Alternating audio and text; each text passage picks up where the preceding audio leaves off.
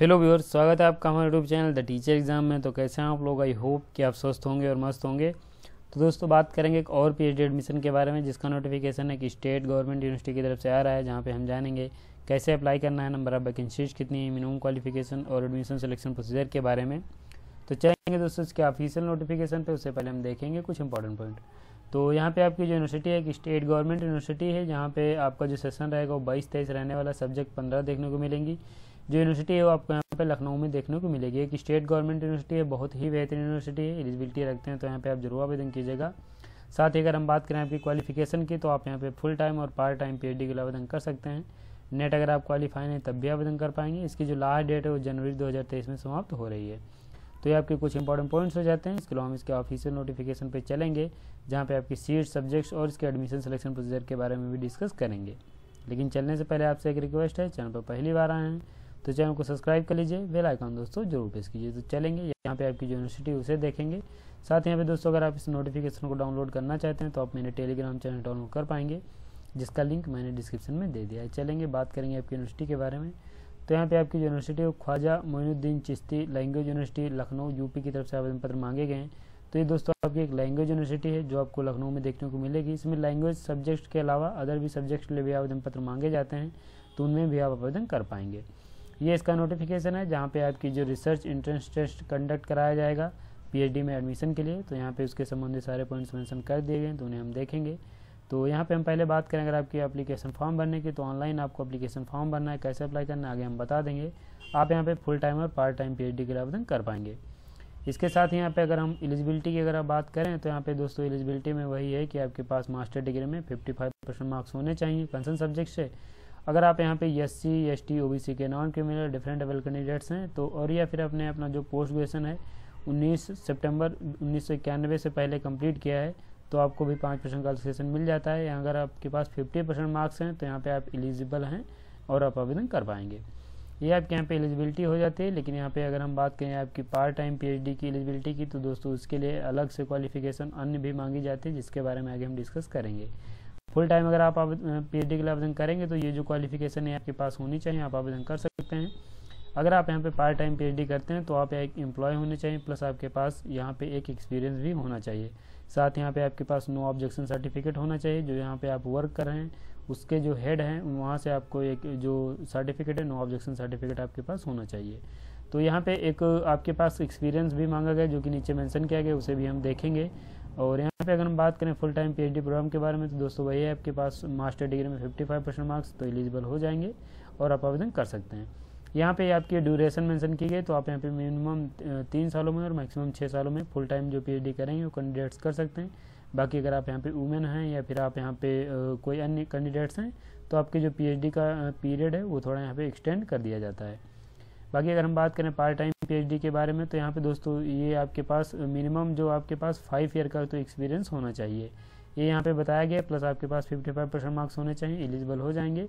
Duration की अगर हम बात करें तो आप यहाँ पे अपनी जो पीएचडी है, वो मिनिमम पाँच सालों में और मैक्सिमम एट सालों में आप अपनी पीएचडी कंप्लीट कर सकते हैं। तो ये आपकी ड्यूरेशन और एलिजिबिलिटी हो जाती है।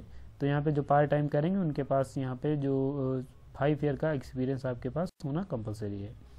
इसके साथ ही अगर हम बात करें आपकी प्रोसीजर फॉर एडमिशन की तो फुल टाइम की अगर हम बात करें तो यहाँ पे दोस्तों आपको एक रिसर्च इंट्रेंस देना रहेगा, जो यानी रेट यहाँ पे कंडक्ट कराया जाएगा, जिसका वेटेज यहाँ पे सेवेंटी परसेंट दिया गया है। थर्टी परसेंट वेटेज यहाँ पे आपका जो इंटरव्यू या वॉइस वाइबा का दिया गया है। तो सेवेंटी और थर्टी का वेटेज यहाँ पे आपको देखने को मिलेगा। अगर आप जितना अच्छा परफॉर्म्स आप इंट्रेंस एग्ज़ाम में करेंगे, उतने ज़्यादा चांसेस हैं आपके सिलेक्ट होने के। इसके साथ यहाँ पे दोस्तों, जो candidate J R F NET या यूपी सिलेक्ट क्वालिफाई हैं उनको यहाँ पे इंटरव्यू में वेटेज देखने को मिलेगा, लेकिन यहाँ पे एंट्रेंस एग्ज़ाम सभी कैंडिडेट्स को देना पड़ेगा।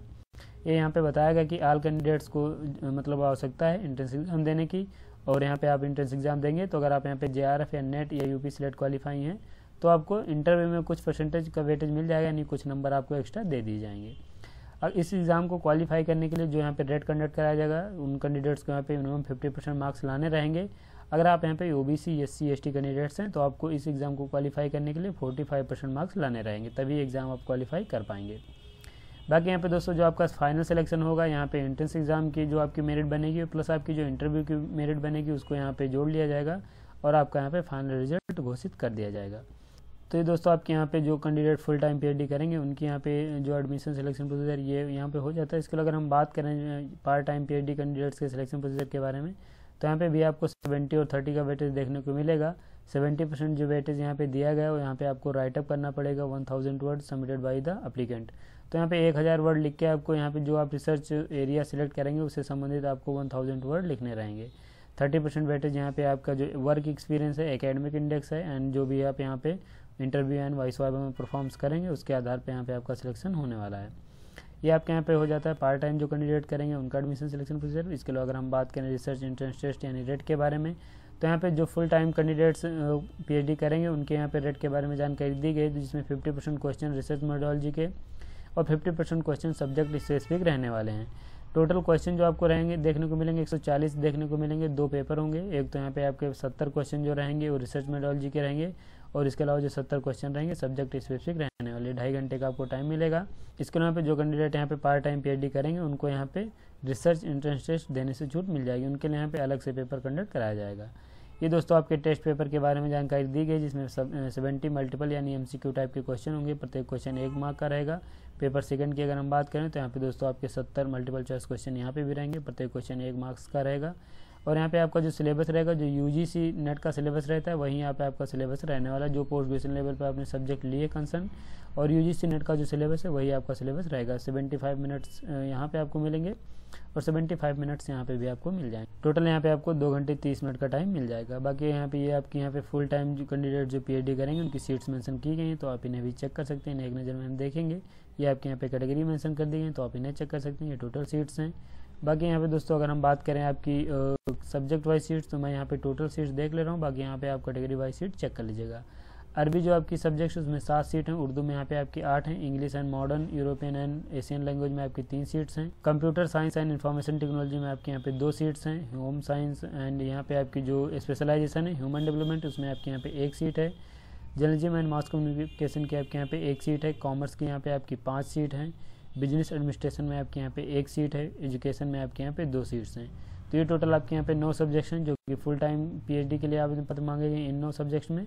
इसके अगर हम बात करें आपके यहाँ पे पार्ट टाइम पीएचडी की सीट्स के बारे में तो यहाँ पे मेंशन की गई जिसमें अरबी की आपकी एक है, उर्दू की दो हैं।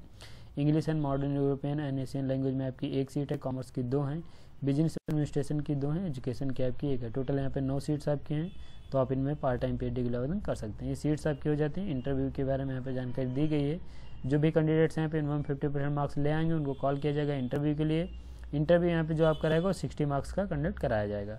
ये मेरिट लिस्ट कैसे आपकी प्रिपेयर की जाएगी तो यहाँ पे बताया गया तो आप इसे चेक कर पाएँगे। ये एंट्रेंस टेस्ट के मार्क्स एक सौ चालीस हो जाएँगे। इंटरव्यू के यहाँ पे आपके साठ मार्क्स हो जाएँगे। 200 यहाँ पे टोटल आपके जो मार्क्स बनेंगे 200 नंबर बनेंगे। 200 नंबर से यहाँ पे आपकी मेरिट लिस्ट तैयार की जाएगी। तो आप इसे भी यहाँ से चेक कर पाएँगे। जनरल इन्फॉर्मेशन दी गई तो आप इसे रीड करना चाहें तो पॉज करके रीड कर लीजिएगा।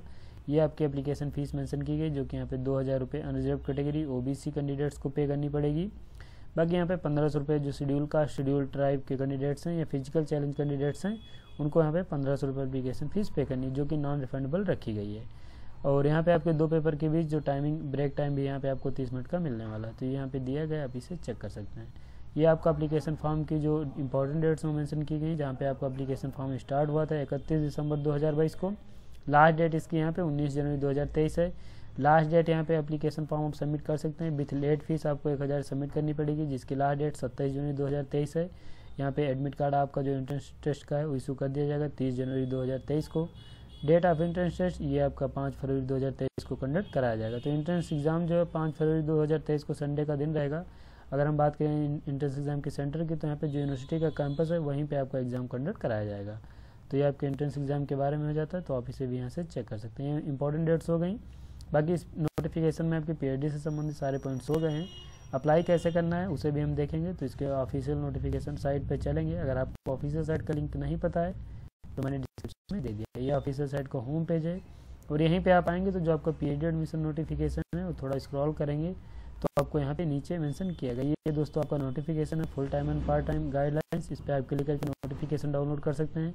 अप्लाई करने के लिए यहीं पे आप देखेंगे तो ये आपके यहाँ पे link for PhD part time and full time दिया गया है। इस पर आपको क्लिक करना है।